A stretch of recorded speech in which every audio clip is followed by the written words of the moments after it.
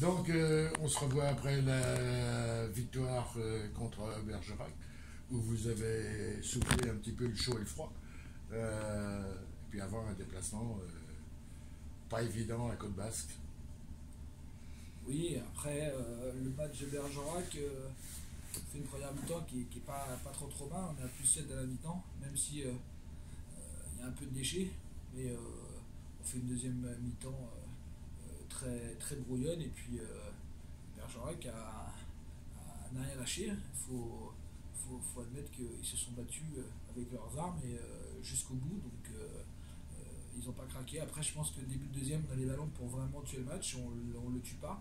Et, à partir de là, on laisse Bergerac revenir et, y croire. Donc voilà, après trois semaines sans match, c'est toujours c'est, dur d'avoir du rythme pendant, pendant une heure de, de match. Je pense que c'est entre guillemets pour nous, c'était un match de reprise. Bergerac avait joué le week-end d'avant un match en retard. Nous, c'était pas le cas. Donc, euh, je pense que on manquait de, entre guillemets, de rythme de match. Voilà. Et ce week-end, euh, en effet, match euh, contre Côte Basque, qui nous avait battu ici à l'aller. on avait mal commencé le match, on avait traîné comme un boulet les, pendant une heure les, trois buts de retard concédés dans les cinq premières minutes après, c'est une équipe qui, euh,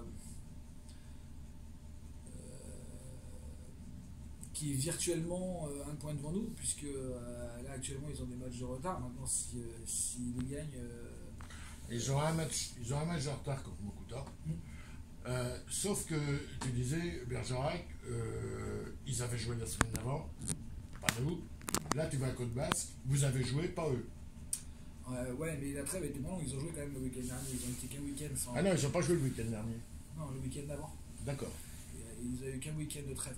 Non, mais de toute façon, c'est très compliqué cette, euh, cette période, mais on va, pas, à un niveau revenir dessus. Mais virtuellement, oui, virtuellement, pour moi, cette équipe est, comme La Roche-sur-Yon à la 3 à 4e place avec un point de plus que nous, même si, en effet, ils ont, ils ont le match de retard qui, devront jouer et devront gagner. Et euh, pour moi, moi j'aborde le match de cette manière-là, en disant on a perdu à l'aller et on est un point derrière. Et euh, si on veut euh, grappiller